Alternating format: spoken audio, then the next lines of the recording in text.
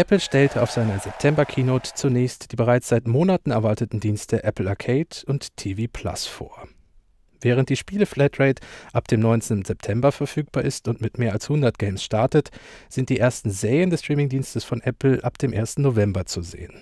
Weitere sollen monatlich folgen. Beide Dienste kosten knapp 5 US-Dollar, die Europreise sind noch nicht bekannt.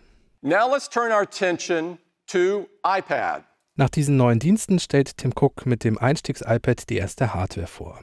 Das günstige Tablet ist nun 10,2 Zoll groß, funktioniert mit dem Apple Pencil der ersten Generation und startet bei 379 Euro. Auch eine neue Apple Watch gab es zu bewundern. Die neue Series 5 besitzt ein Always-On-Display, einen integrierten Kompass und ist nun auch in einem Titan- oder Keramikgehäuse verfügbar. Die Smartwatch von Apple kostet ab 449 Euro.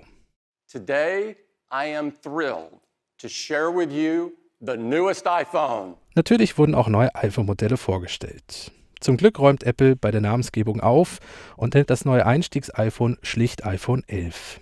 Das Modell kommt mit zwei Kameras, dem A13 Bionic Chip und ist in sechs Farben verfügbar. Das neue Top-Modell trägt nun die Bezeichnung iPhone 11 Pro bzw. in der großen Variante iPhone 11 Pro Max.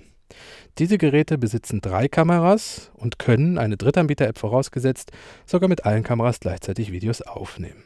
Auch das iPhone 11 Pro ist in vier Farben erhältlich